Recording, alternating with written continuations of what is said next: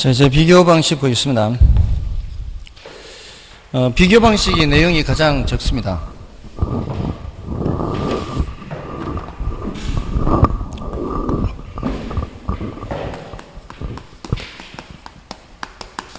비교 방식은 이제 거래 사례 비교법이 있죠. 교사비에 의해서 비준 가액이 있죠. 비준 가액은 일단 사례 가격을 찾은 후에 여기서 이제 수정 작업을 해야 되죠. 사시지계라 그랬죠. 사시지계. 경우에 따라 면적 비교를 하기도 하는데요. 얘네들이 다 곱셈이죠, 곱셈. 곱셈을 생략해서 나타냈죠. 여기가 사정 보정, 여기가 시점 수정, 지역요인 비교, 개별요인 비교, 이렇게 하죠. 어, 다음에 임대 사례 비교법이 있죠. 임대사례 비교법은 비준 임료죠. 비준 임료는 여기가 사례 가격이 아니고 사례 임대료요. 나머지는 사시지게 똑같아요. 똑같아요. 그 다음에 공시지가 기준 가액이 있죠. 공시지가 기준 가액은 표준지 공시지가에 그냥 시지계만 하죠. 시지계. 이게 면적 비교도 없어요. 예, 경우에 따라 기타 요인 비교는 있어도 지금 여기에 있는 시지계, 시지계 다 똑같죠? 여기 사정 보정 있고 여기는 사정 보정이 없죠? 여기는 표준지 공시지가고 이건 사례잖아요. 그러니까 지금 이론이 거래 사례 비교법만 설명하면은 나머지는 다 똑같아요. 다만 공시지가 기준가액은 뭐가 없다. 사정 보정이 없다. 이거 외에는 차이 나는 부분이 없어요. 그러니까 이론적으로는 여기만 하면 끝나는 거예요. 거기, 그것도 여기에 이제 초점을 맞춰서 하는 거죠. 이 부분하고. 그래서 이론적으로 정리할 게 많지가 않은 거죠. 예, 제일 먼저 이제 사례 선택 기준이라는 게 있어요. 사례 선택 기준. 그러니까 여기에 이제 어떤 사례를 집어넣을 거냐 하는 거잖아요. 예, 그게 뒤에 나오는 순서대로예요. 사실지게. 그래서 구조도 간단해요. 사실지계가 뭔가면은 사정 보정 가능하니 묻는 거죠. 사례를 선택할 때 사정 보정 가능하니 자 이거는 사례가 특별한 사정이 있는 사례예요. 급하게 거래되는 바람에 싸게 거래됐대요. 근데 이제 얼마나 싸게 거래됐는지 알아야 될 거 아니에요. 그런 어, 사정 보정을 할 수 있는 사례라 해야 되는 거죠. 요거는 사정이 개입되어 있는 사례만 살펴보면 되겠죠. 사례가 사정에 개입되어 있지 않은 사례라면 굳이 이걸 따질 필요가 없는 거죠. 그 다음에 시점 수정 가능하니 이렇게 얘가 얼마 전에 거래되기는 했는데 어, 2억에 거래되긴 했는데 언제 2억에 거래됐는지 확인이 안 돼. 그럼 시점 수정을 할 수가 없죠. 그러면 안 된다는 거예요. 예, 예, 시점 수정, 이 시점이 확인이 돼야 된다는 거죠. 그리고 뭐를 포함하는 개념인가 하면은 시점이 확인되는 사례가 두 가지예요. 하나는 6개월 전, 하나는 1년 전. 그럼 가능한 한 언제 있게 좋다? 에, 가까운 6개월 내가 좋다. 이걸 의미하는 거죠. 에, 시점의 유사성을 포함하는 거예요. 그 다음에 지역 요인 비교 가능하니 이렇게.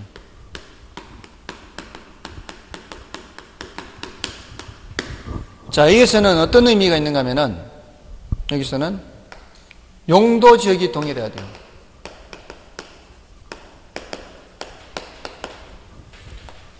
어, 지난번에 혹시 말씀드렸나요? 삼양라면 그 익산 공장이 자연녹지 지역에 있다고? 자연녹지 지역 안에 있는 공장 용지예요. 근데 그거를 평가하기 위해서 사례가 자연녹지 지역 안에 있는 공장이라야 되지 공업지역 안에 있는 공장 용지면 안 된단 말이에요. 자연녹지 지역과 공업지역은 땅값이 차이가 많이 나죠. 자, 그러니까 그 용도 지역이 동일해야, 용도 지역이 동일해야 지역이 비슷한 거예요. 용도 지역이 비슷해요, 일단. 특히 도시 지역은 더 심하죠. 특히 도시 지역은 당연히 용도 지역이 같아야 돼요. 당연히 용도 지역 같아요, 도시 지역은. 그 다음에 이제 개별 요인 비교 가능하니 요거 묻는 거예요.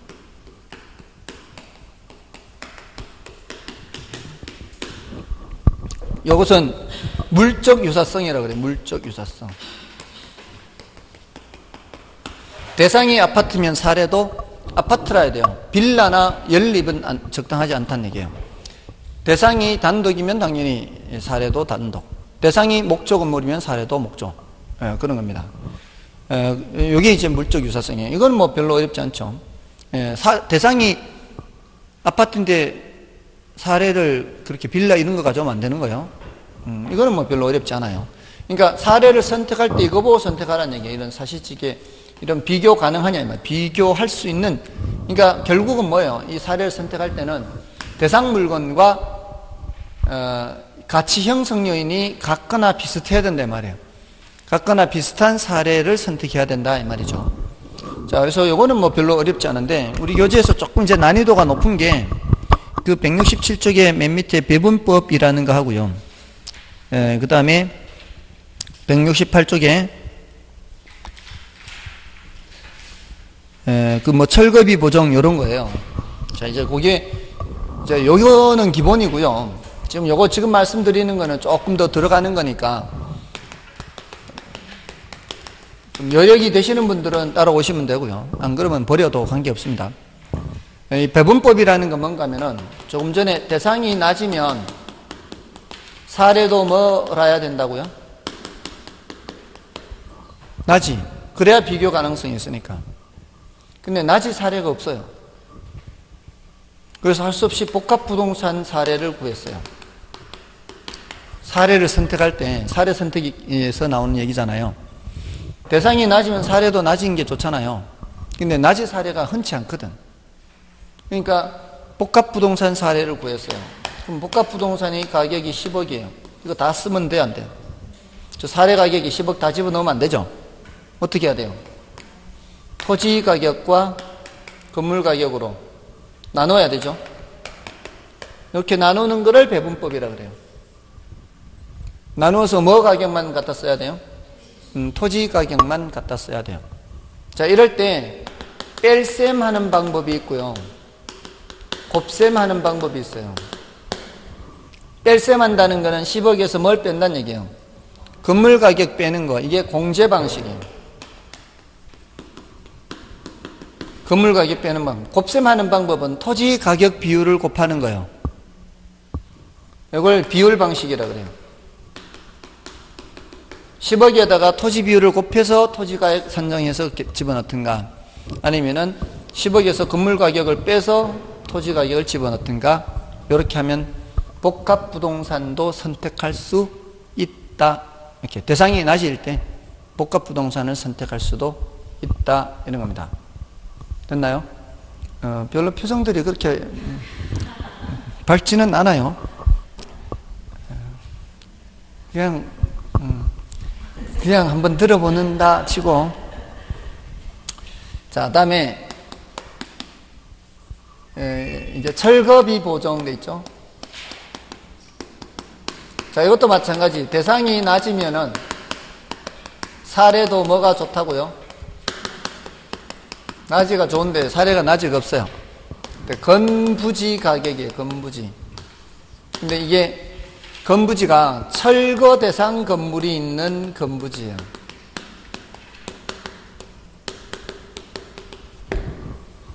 철거 대상 건물이 있는데 건부지가 1억에 거래됐어요.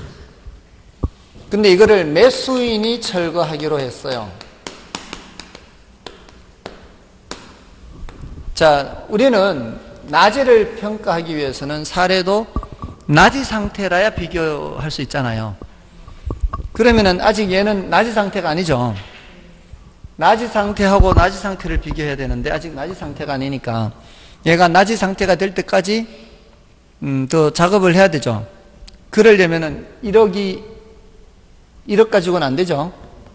매수인이 철거하기로 하면서 매수인이 1억 주고 샀으니까 매수인이 이 땅을 정상적으로 사용하려면은 이 지상의 건물을 철거해야 사용할 수 있잖아요.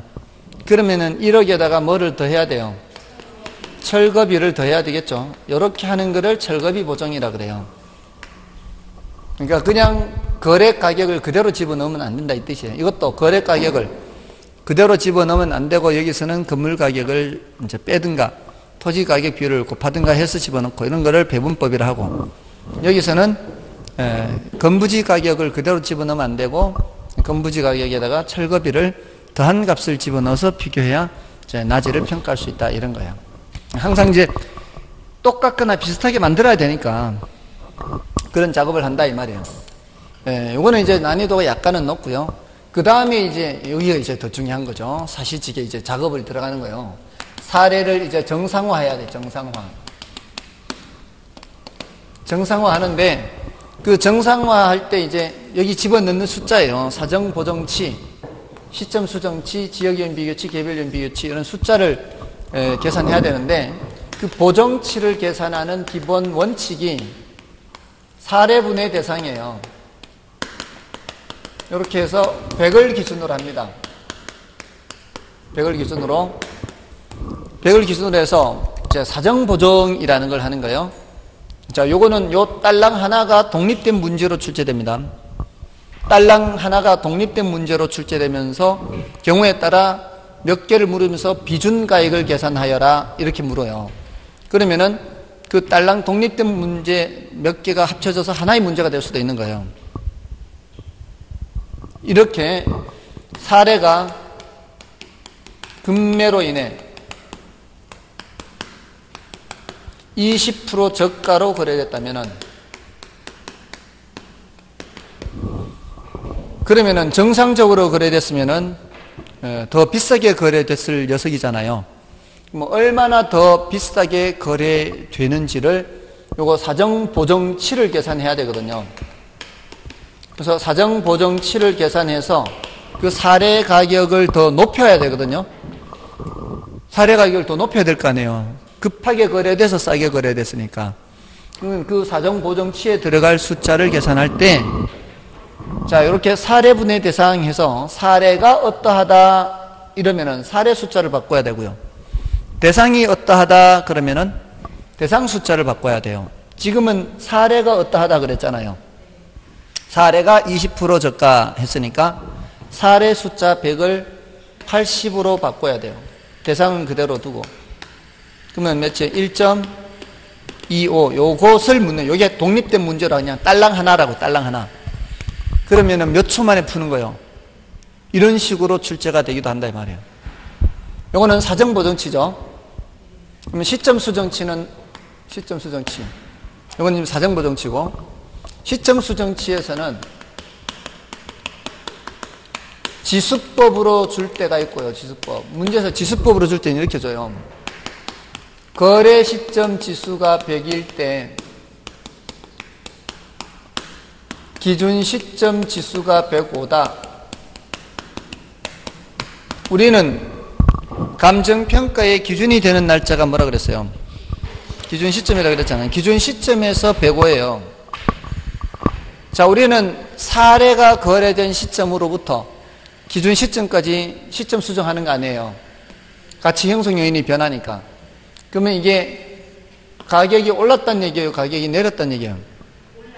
가격이 올랐다는 얘기죠. 지금 우리는 지금 거래된, 거래된 놈이 과거에 거래됐겠어요? 미래에 거래됐겠어요? 거래된 놈은 과거에 거래됐겠지. 이게 말이에요, 사례.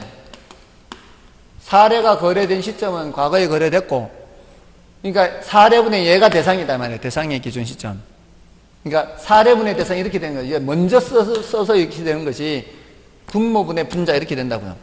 그러면 이게 100분의 105 이렇게 된다 이 말이에요. 이 지수법이에요. 지수법은 보통 건물의 경우 많이 나와요. 건물. 근데 토지의 경우에는 지가 변동률을 많이 써요. 지가 변동률이 1월 1일부터 기준 시점까지 5% 이렇게 준단 말이에요. 이게 이때가 이제 처음 출발점 비교 시점이죠. 비교 시점부터 이렇게 기준 시점까지. 이러면 그동안에 몇 프로 올랐다? 5% 올랐죠. 그러면은 이거를 우리 할증하듯이 하면 돼요. 할증. 우리 앞에서 이자율이 몇 프로일 때 할증하고 하잖아요. 그때 어떻게 해요? 1 플러스 0.05 하잖아요. 이게 바로 시점 수정치예요. 지수법으로는 분모 분자 이렇게 해서 시점 수정치를 이렇게 계산하는 거고 이때는 이게 시점 수정치라고요. 됐나요? 이렇게 1.05 해서 저기 이제 갖다 쓰면 되는 거예요. 됐죠? 그러니까 할증하는 거는 몇 프로 주는 거는 우리 앞에서 할증 할인 했을 때 공부했잖아요. 늘 1이 있잖아요. 1. 1이 원금에 해당하는 거죠. 1이 원금에 해당하는 거하고 0.05는 이제 이자에 해당하는 거고. 그렇게 해서 계산하면 돼요. 그 다음에 이제 사시 지계. 지역 요인 비교, 개별 요인 비교는 한꺼번에 정리하는 거예요. 얘네들은 똑같으니까. 얘네들은 종합적 비교법이 있고 평점법이 있어요. 근데 종합적 비교법은 교재를 보세요. 교재. 전반적으로 그냥 한꺼번에 뭉뚱그려 하는 거예요. 종합적 비교를 보면은 어, 거기 유사지역과 인근 지역을 종합적으로 비교하는데 그 예를 보시면 돼요. 예.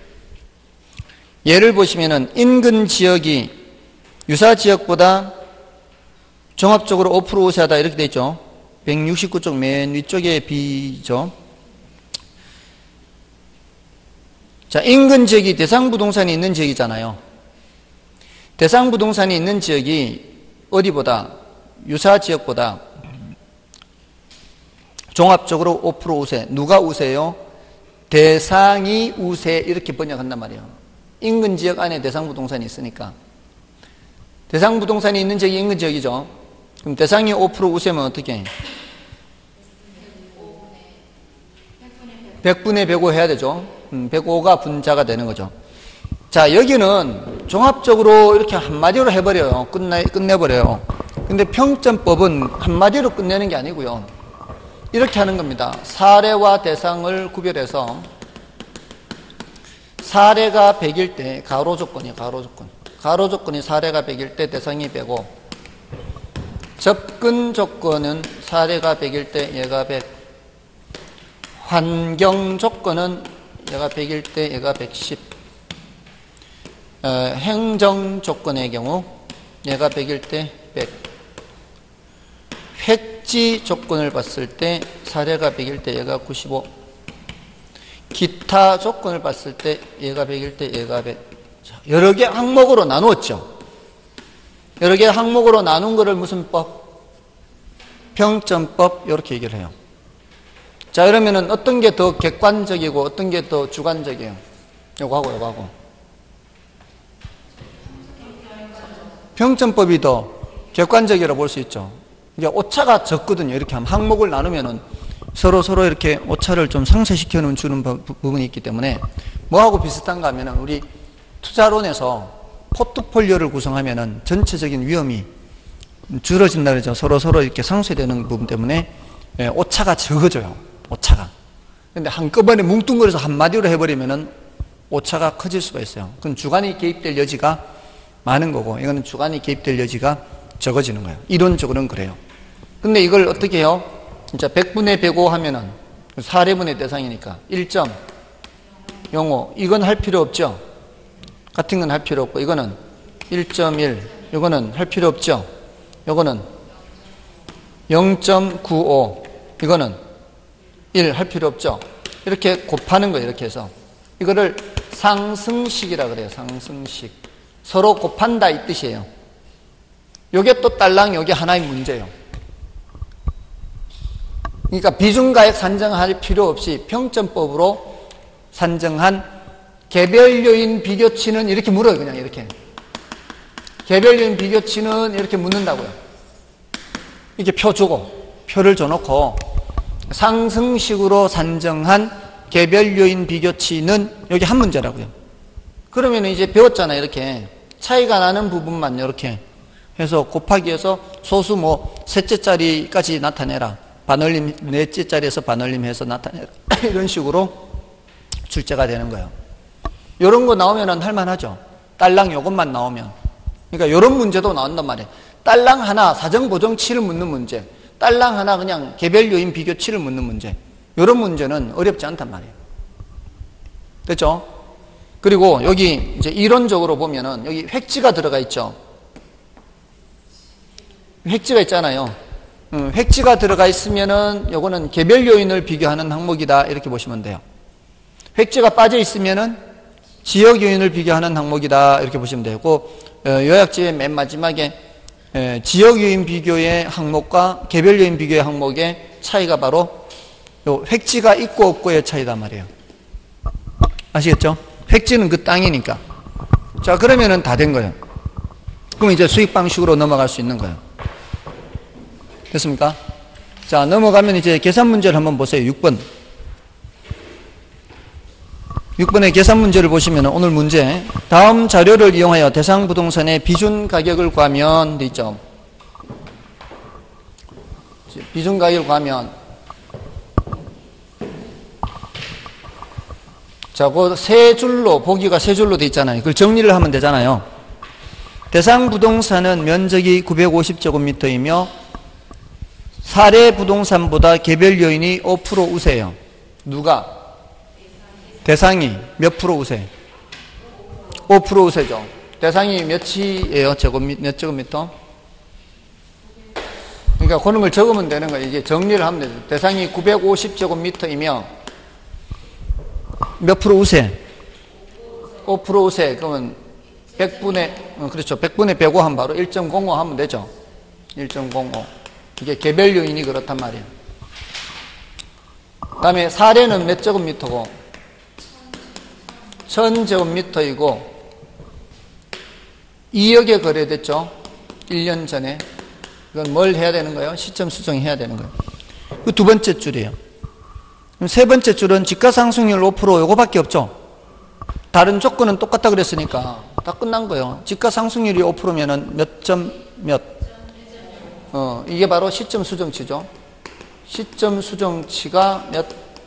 1.05. 끝이에요. 자, 여기 개별 요인 여기 있고. 자, 다른 거는 똑같다고 했으니까요. 사정 보정 있어요, 없어요? 사정 보정 없잖아요.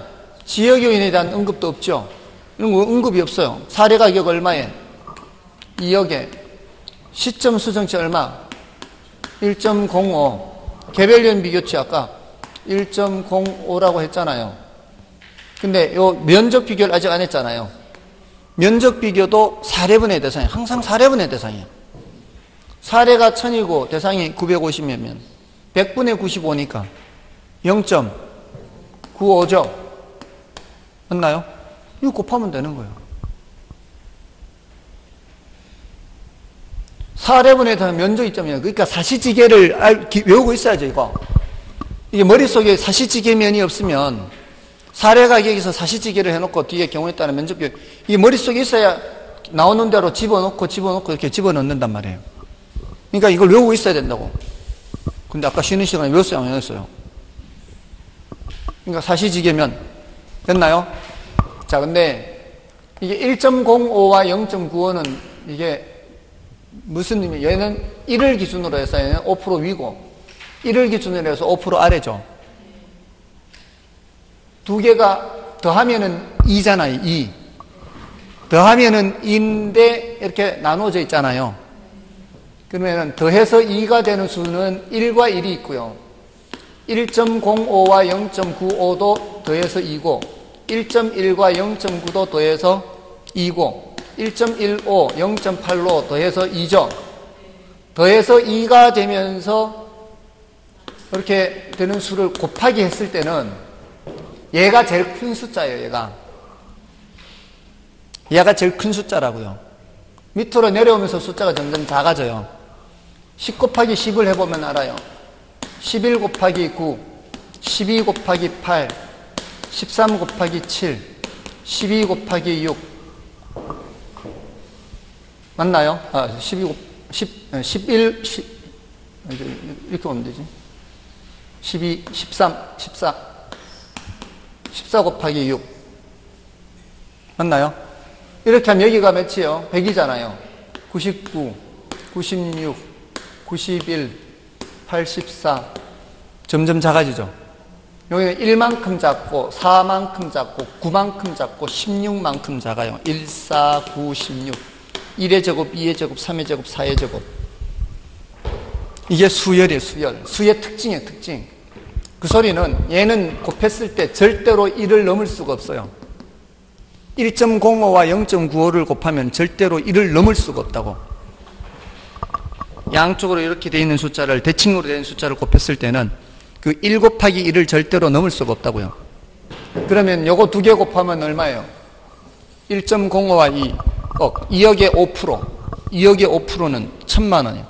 그럼 2억 천보다 절대로 얘는 더 큰 숫자가 나올 수 없다고요.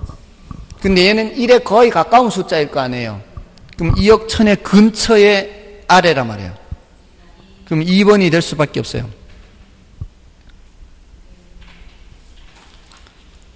아시겠습니까?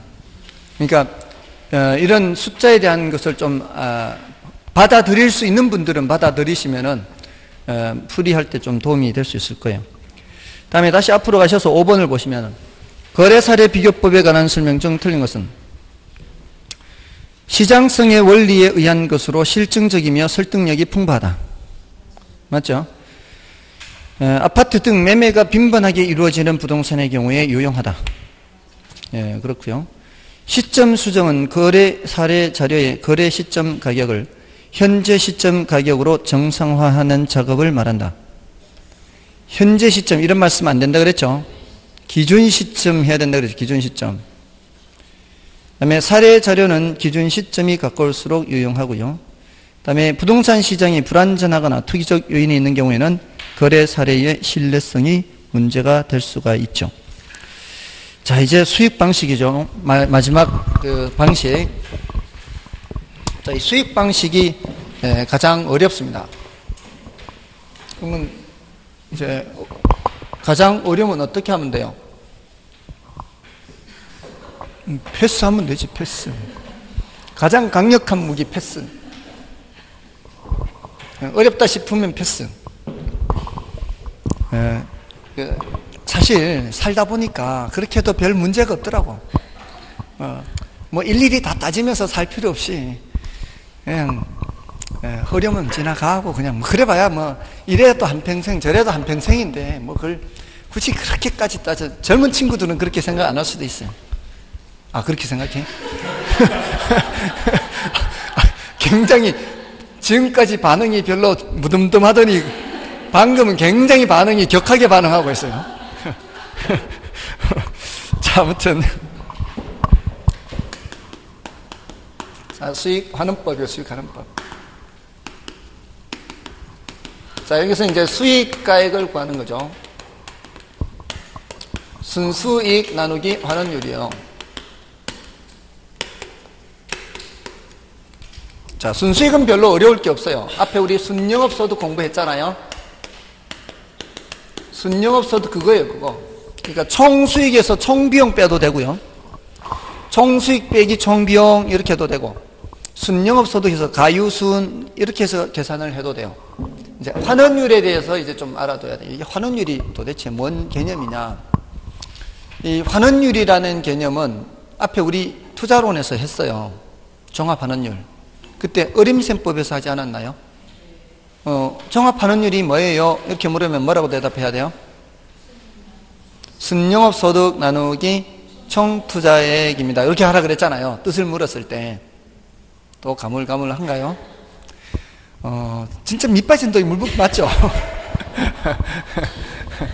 자, 아무튼, 뭐, 기억나든 말든 간에, 뭐, 어, 어, 순영업 소득 나누기 예, 총투자액 이렇게 하는데 이게 어림셈법에서 수익률이었잖아요.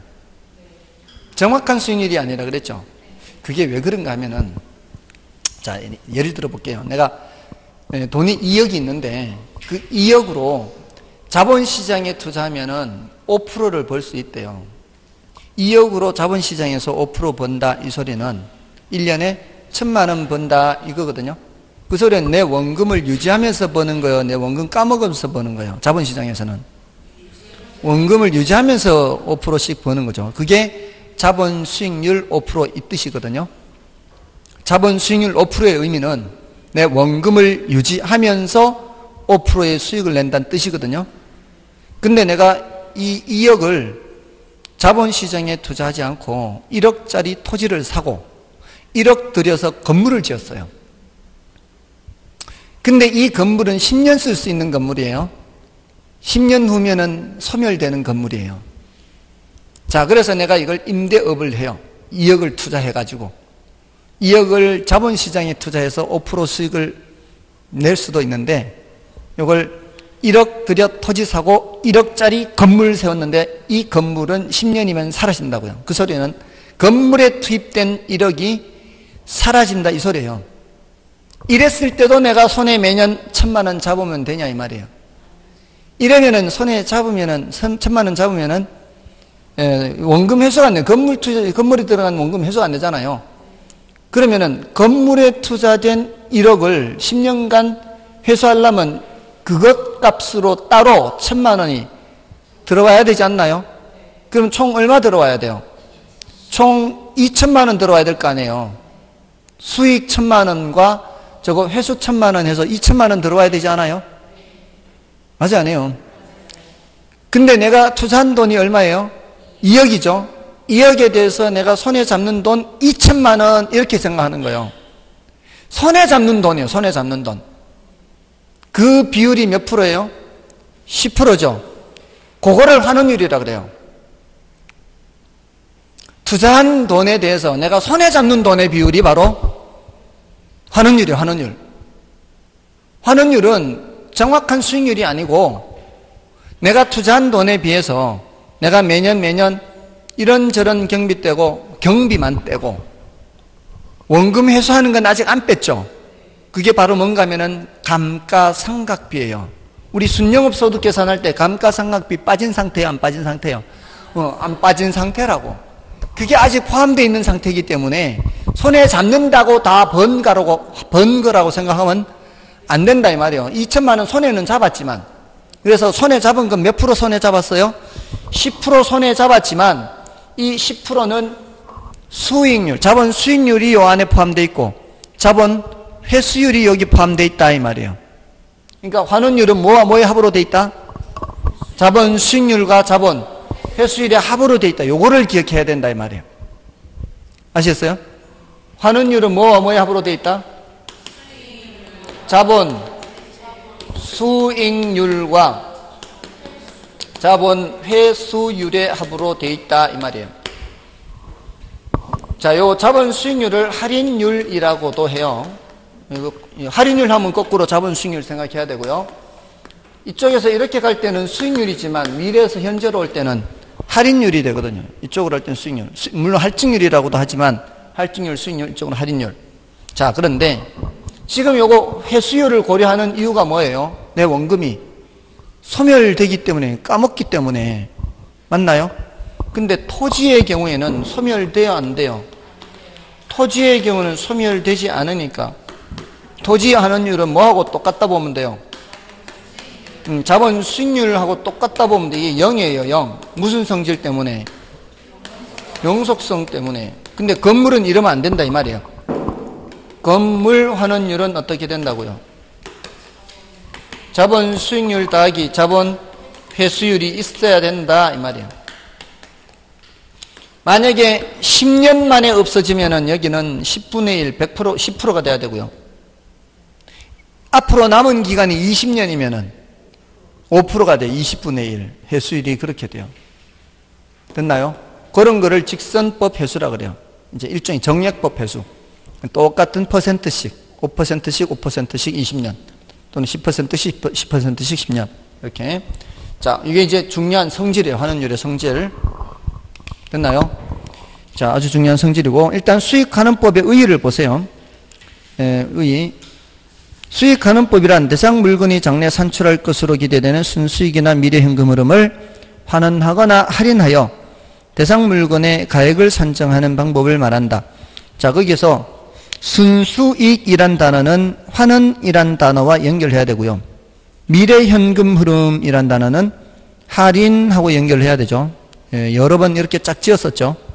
순수익은 환원하는 거고 미래 현금 흐름은 할인하는 거예요. 예, 다음에 밑에 수익환원법의 3요소에서 순수익 환원율 자본하는 방법 또는 자본 회수 방법이 있는데 그 순수익과 환원율에 대해서 조금 더 어, 우리는 살펴볼 거고요. 자본 회수 방법은 중요도는 낮고 난이도는 높아요. 에, 그거는 사실 저기 뒤에 가면은 한 장 넘기면 171쪽에 있기는 해요. 근데 요거는 일단은 너무 난이도가 높아서 패스하고요. 일단 기억, 니은 위주로 보시면 돼요. 우리가 이제 일단 그 요 항목에 대해서 이제 이론 정리하는 거 아니에요.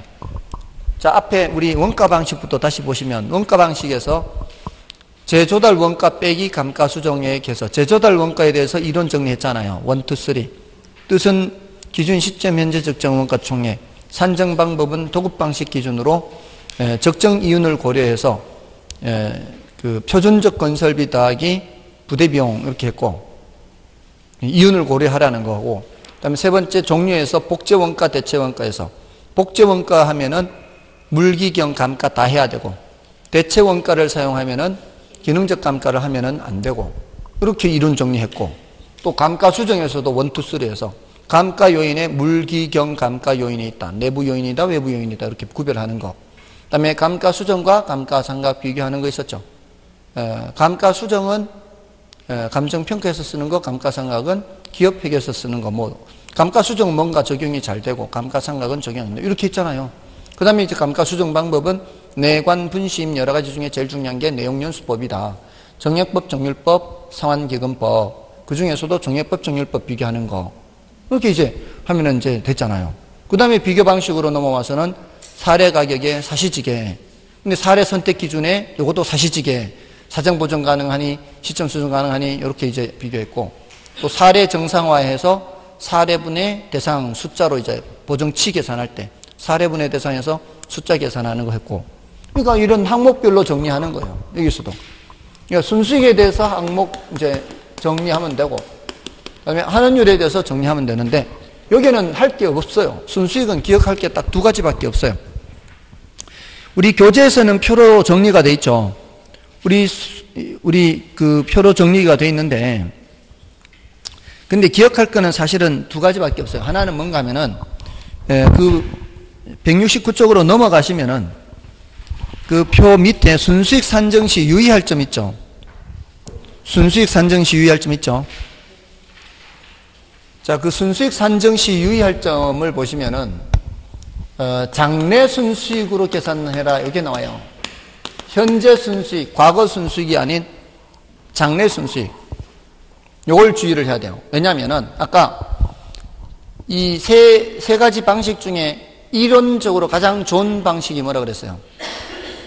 수익 방식이 제일 좋다 그랬죠. 왜냐면은 다른 것들과는 달리 가치 정의하고 딱 맞아 떨어져. 미래를 보기 때문에.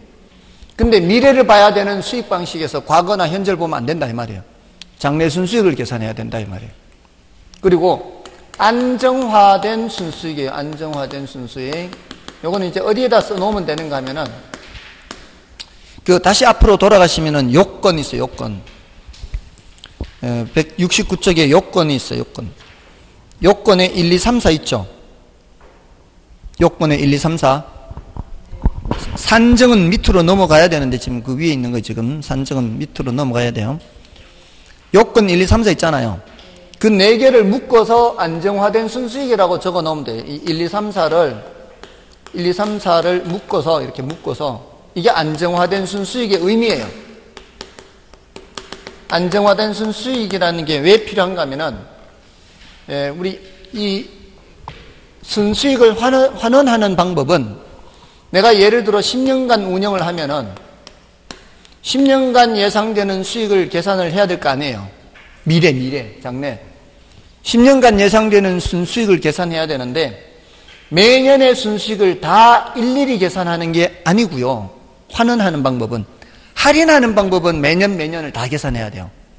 미래 현금 흐름을 할인하는 것은 각각을 다 계산해야 되는데 어, 순수익을 환원하는 방법은 첫 해건만 계산을 한 후에 남은 기간 동안은 똑같다고 가정을 해버려요.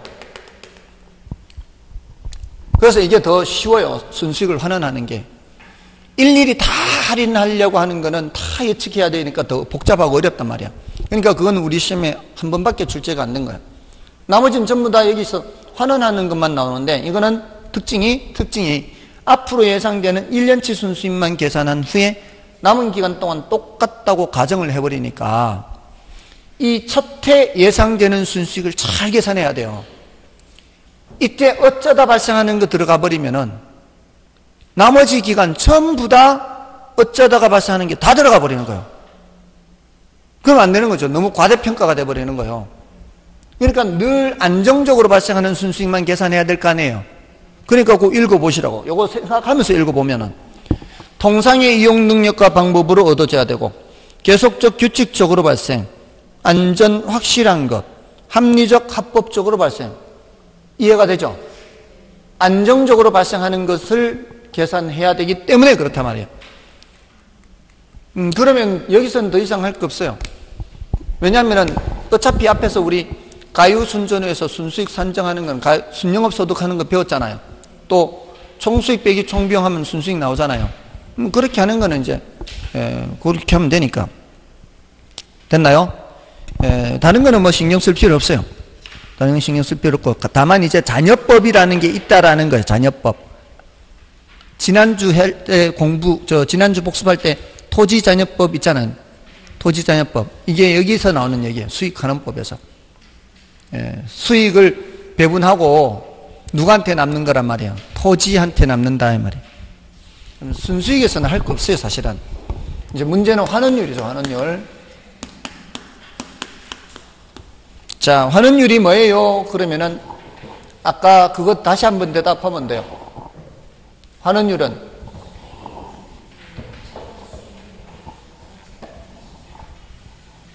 환원율은 투자론에서 했던 그 대답하면 된다고요.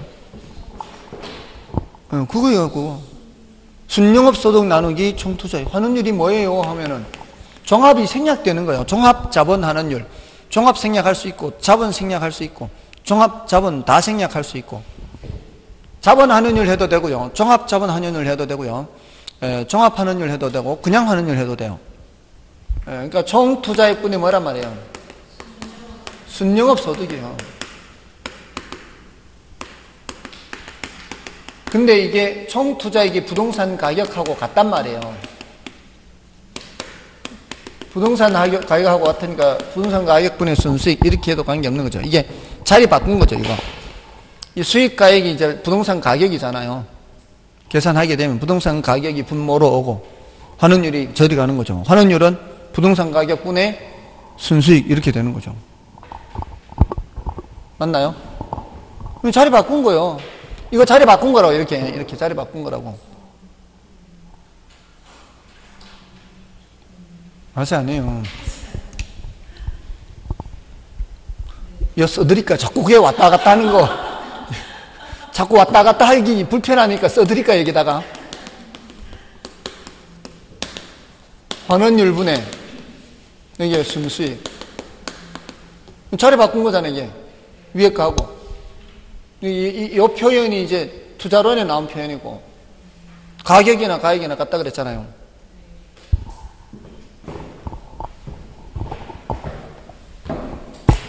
자, 환원율은 그렇고요. 환원율은 이게 환원율의 정의예요, 정의 뜻. 환원율은 부동산 가격에 대한 순수익의 비율입니다. 또는 총 투자액에 대한 순영업 소득 비율입니다. 예, 이게 이미 우리는 어디서 배운 거예요? 투자론에서 배웠다고요, 투자론에서.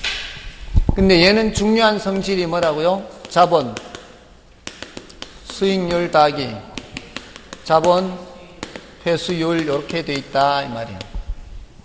요거는 할인율이라 하고 됐나요? 그래서 우리 교재에서 170쪽에 환원율의 의 요거는 보시고 성격은 1, 2, 3, 4 다 무시하고요. 5번만 기억하면 되죠. 성격은 뭐와 뭐의 합으로 돼 있다. 수익률과 회수율 합으로 돼 있다 이렇게 됐죠?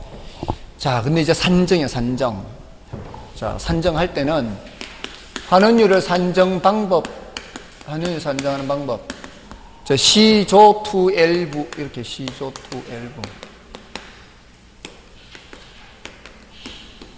또는 시요 투 엘부 시장 추출법이거든요 시장 추출법 그 다음에 조성법. 다른 말로 요소 구성법 그래요. 투자 결합법. 엘우드법, 부채 감당법, 시조 투엘부 또는 시요 투엘부 여기서 투자 결합법하고 부채 감당법은 필수에 필수.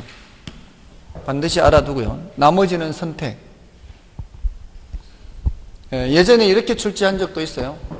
시장 추출법, 요소 구성법, 예, 투자 결합법, 부채 감당법, 분해법 이렇게 집어넣고 다음 중 감가 수정 방법이 저 저 환원율 산정 방법이 아닌 것은 이렇게도 출제한 적 있어요. 그냥 항목을 단순히 나열해 놓고 그런 경우라면은 알면은 몇 초 만에 푸는 거고 모르면은 한 시간을 들여다 봐도 모르는 거예요. 그러니까 굉장히 어떻게 보면 단순한 거죠. 단순한 건데 그렇게라도 하라면 이, 이 세부적인 내용을 하기가 싫으면 제목이라도 알아놓으라 제목이라도. 근데 시장 추출이라는 게 아까 감정, 감가 수정에서도 나왔죠. 시장 추출이라는 것의 공통점이 뭐라고 그랬어요? 이거는 매매 사례로부터 추출하는 거예요.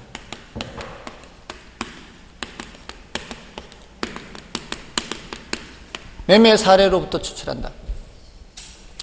조성법은 이건 주관이 개입될 여지가 많아서요. 네, 잘 쓰지 않아요, 얘는. 중요도 좀 낮고요. 투자결합법은 중요하다 그랬죠. 얘는 물리적 투자결합법과 금융적 투자결합법이 있어요. 물리적으로 보면은 토지와 건물을 결합시키는 거고요. 결합시킬 때 금융적으로 결합시킨다는 것은 내 돈과 남의 돈을 결합시키는 거예요. 그러니까 물리적으로 결합시킨다 그러면은 토지 건물이 나와야 되고요. 금융적으로 결합시킨다 그러면 내 돈, 남의 돈 이렇게 나와야 돼요. 자, 여기는 토지 비율이 있고요. 토지 환원율을 곱해요. 아까 토지 환원율, 건물 환원율 했죠. 토지 가격이 40%다. 그럼 건물 가격은 몇 프로? 60%. 건물 비율이 있을 거 아니에요. 이게 건물 환원율을 곱해요. 왜냐하면 종합 환원율이잖아요. 토지 건물이 결합된 상태의 환원율은 각각의 환원율을 가중 평균하는 거죠. 여기는 내돈 비율이 있으면 지분 환원율이 있고요. 가중 평균해야 돼요. 그러면 저당 비율, 남의 돈 비율이 있겠죠. 내 돈이 40%면 남의 돈 60% 이렇게. 그러면 저당 환원율도 있겠죠. 이걸 또 가중 평균하는 거예요. 여기에 지분 환원율 자리에 지분 배당률을 씁니다. 여기 저당 환원율 자리에 저당 상수를 쓰고요. 저당 환원율과 저당 상수는 같은 개념이에요. 예, 다음에 여기 부채 감당법은 환원율을 구할 때 부채 감당률을 이용합니다. 부채 감당률 곱하기 저당 비율, 저당 상수 이렇게 하죠.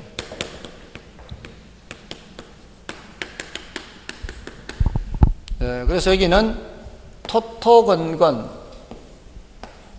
지지저저. 이건 부저죠. 음, 지지저저의 저저와 부저저의 저저가 같은 저저죠. 그러니까 토토건건 지지저저 부저저 이렇게 외우셔야 되겠죠. 에, 이거는 이미 출제가 됐어요. 물리적 투자결합법 출제가 됐고요.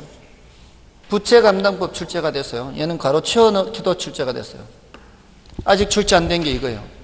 지지저죠. 더 중요하겠죠. 지지저죠.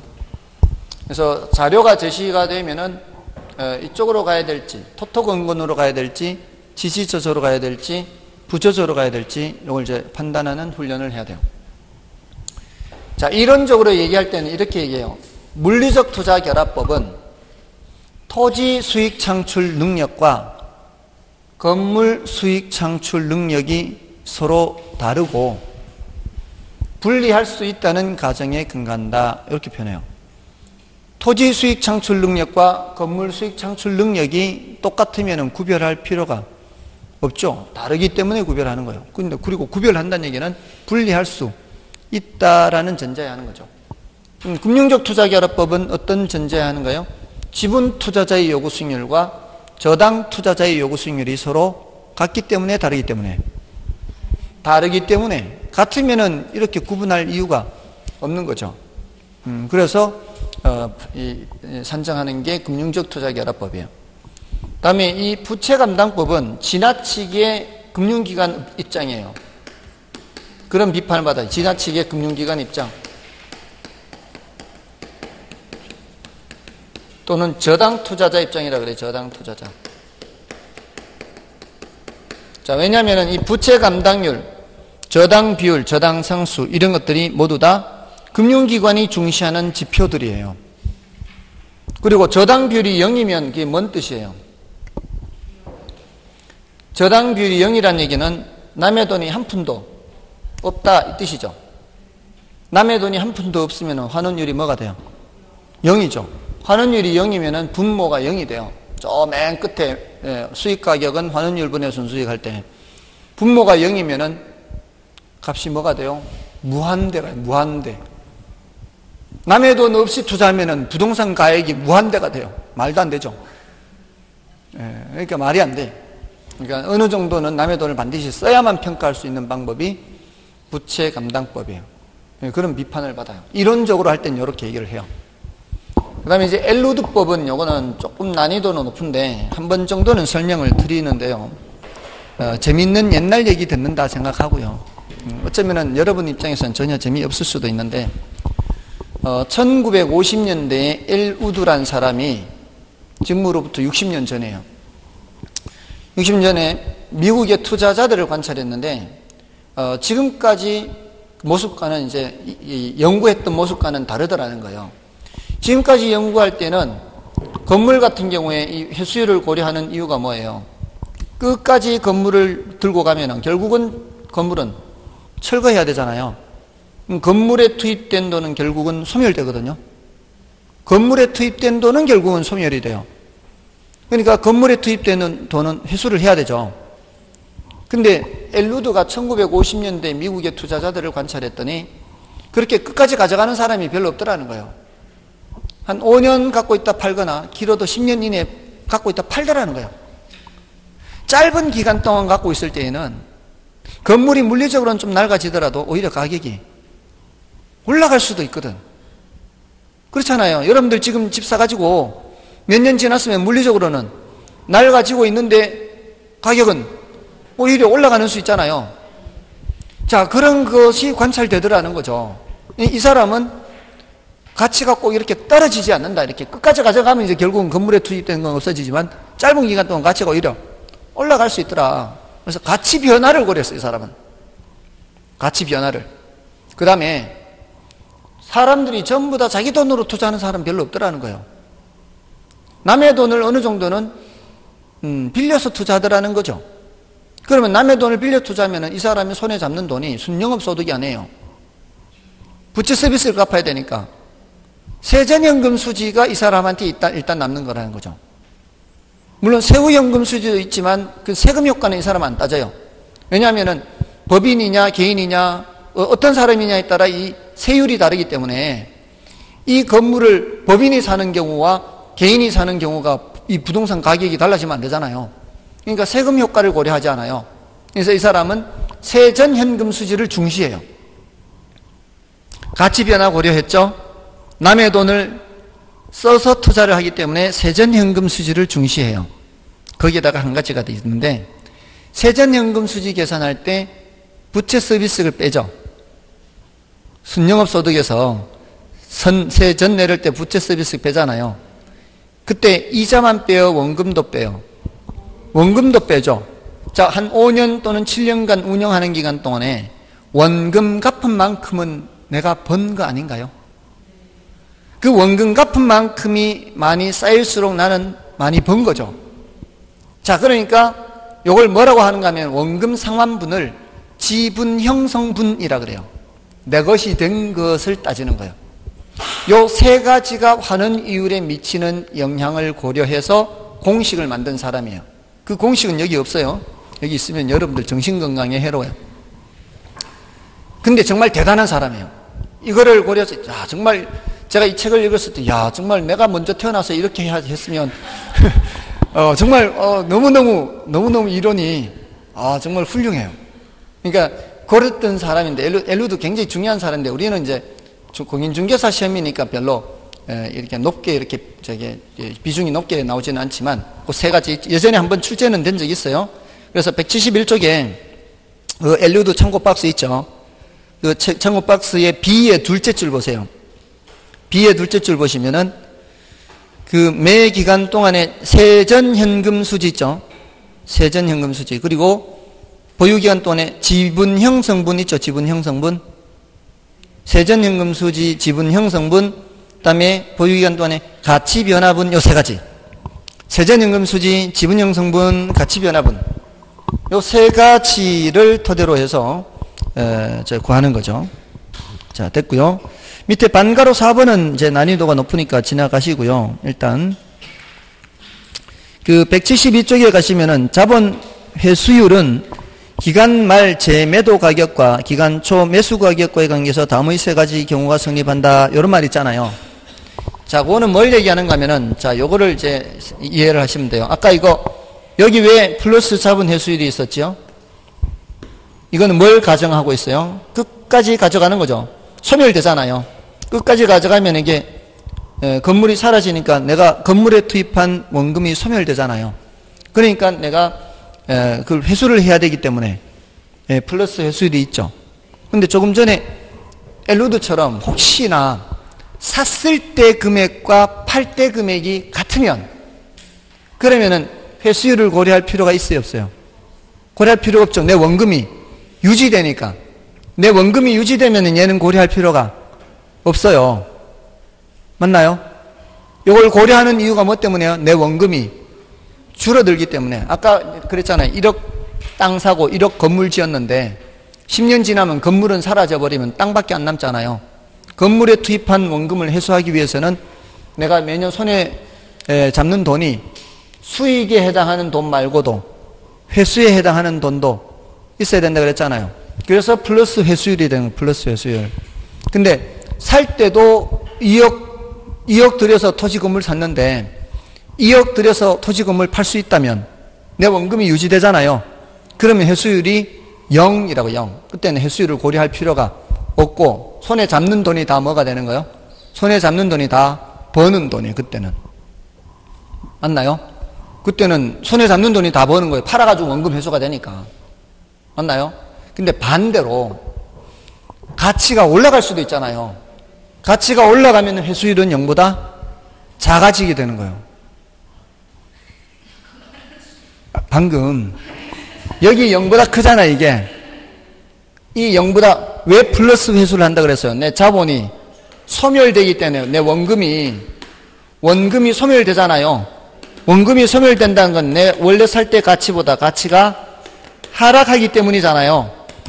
그 하락분을 메꿔주기 위해서 플러스 회수율이라고요. 가치가 하락하면 플러스 회수율이라고요. 이거 이해되셨죠? 맞잖아요. 내 원금이 줄어드니까 원금 줄어드는 걸 벌충하려고 이 플러스 회수율이 있어야 되잖아요. 이거 이해됐죠? 그러면 저쪽은 이해하려고 하지 말고 그냥 외우세요. 가치가 가치가 상승하면 회수율은 0보다 작다. 하나를 이해를 했으면 다 반대쪽은 반대 방향으로 외우면 된다고요. 가치가 하락하니까 해수율이 0보다 크다. 음, 가치가 상승하면 해수율이 0보다 작다. 이거 이해하려면 어렵거든요. 이거는 이해하기가 쉬운데 반대쪽은 이해하기가 어려워요. 예전에 한 10년 전에 어떤 분이 이거는 이해가 되는데 가치가 올라갈 때 해수율이 0보다 작은 거는 이해가 안 된다 그래서 평소에 조금 잘 하는 분 같아서 제가 설명을 했죠. 한 30분에 걸쳐서. 나갈 때 기존에 알던 것도 헷갈리면서 나갔어요. 그다음부터는 절대로 내가 이해를 시켜드리지 않아요. 그러니까 그냥 외우라고. 예, 정신건강에 해롭다고. 예, 하나를 알면 반대는 외우라고. 됐죠? 그럼 됐어요. 수익 분석법은 뭐, 뜻만 알고 있으면 돼요. 수익 분석법은 뜻만 보세요. 아시겠죠? 아시겠죠? 수익 분석법은 임대료 가는 방법 뜻만 보시라고요. 자, 그 문제를 좀 풀고 좀 쉬겠습니다. 7번 문제 보세요. 아, 요거 좀 쉬고 할까요? 시간이 많이 지나간 것 같은데. 쉬고 하겠습니다.